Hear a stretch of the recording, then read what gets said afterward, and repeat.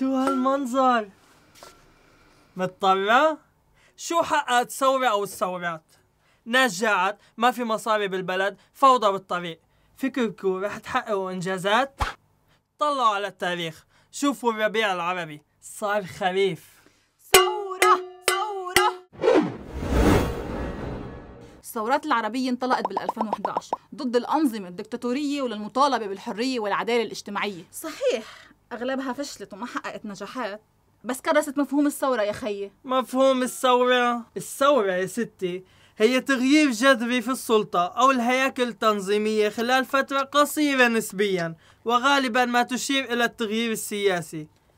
إحنا جربنا التغيير بس ما شفنا من الثورة إلا الخراب من سيء لأسوأ. عن أي ثورات عم تحكي؟ تاريخ الثورات ما بلش ولا انتهى مع الربيع العربي. شهد العالم عدة ثورات غيرت من مجرى التاريخ. هلا ما رح أقول لك الثورات العربية لأنه ما قالها بالقصر غير امبارح العصر. بس شوف مثلا الثورة الفرنسية أم الثورات. عظمة على عظمة يا ست. ثورة فرنسية وثورات عربية. ما شاطر إلا بالتبخيس التبخيس هو تهبيط معنويات. الثورة الفرنسية كمان بلشت لما فرضوا ضرائب على الشعب إلا نبلاء ورجال الدين. وكمان البلد كان غرقان بالديون بسبب تمويل الثورة الأمريكية. الله عليك يا صلاح. آه يا لويس يا فخر الفرنسيين. وعشان تكمل ضربت عاصفة ثلجية الزرع وارتفعت أسعار المواد الغذائية بجنون. ما ناقص تقولي لي إلا رفعوا سعر الدولار والبنزين وحطوا ضريبة على الواتساب. تفضلي اجري. بحديثك. قرر المجلس الوطني ينفصل عن الملك لويس. وأقسموا وأقسموا وأقسموا, وأقسموا إنه ما رح يتراجعوا غير ليقر الدستور. ومن ثم اقتحموا سجن الباستيل وحرروا المساجين. تحججوا بالمساجين وأخذوا سلاح. الخطوة الحقيقية كانت إعلان حقوق الإنسان والمواطن. لكل إنسان الحق في الحرية تملك والأمن. الله ينور عليكي. وهذا اللي فشلت الثورة بتطبيقه.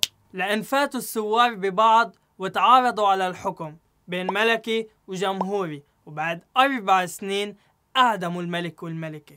بالمقصلة بقطعوا الروس المهم أعلنوا قانون الطوارئ بقيادة ماكسيميليان روبسبير. استمر عشر شهور أعدموا فيه. بالمقصلة نص مليون فرنسي كانوا من الأحزاب الثورية المتصارعة. المشكلة أنهم تسلقوا على الثورة أو بالعربي الفصيح خطفوها. تسلل نابليون وأعلن نفسه إمبراطور لفرنسا. بعد حملات عسكرية ناجحة بأوروبا وأعطى نفسه صلاحيات وامتيازات وتفرد بالحكم كأنه ملك ومكتر. الثورة الفرنسية استمرت عشر سنين وصار الحكم يتنطط ما بين ملكي لامبراطوري لجمهوري. وهيك لحتى ثبت الحكم عام 1958 بالجمهورية الخامسة واستمرت حتى اليوم. أهلين! بدك يانا ننطر 159 سنة لنتحرر ويصير عنا عدالة. هاد غير كان عندهم قادة للثورة ومفكرين وأفكار تنويرية عم تنتشر ضد السلطة. يا سميح ليش ما بتاخد الزبدة؟ هن صحيح نطروا بس شوف النتيجة. كان الإنسان الأوروبي أما سيد أو مستعبد وبالثورة الفرنسية صار مواطن. بعدين نحن ليش نبلش ثورتنا من الصفر؟ لما نتعلم من تجارب غيرنا أو منخلق ثورة مختلفة شكلا ومضمونا. والله احترت. عطونا أنتو الزبدة. الثورة هل هي السبيل الأفضل للتغيير؟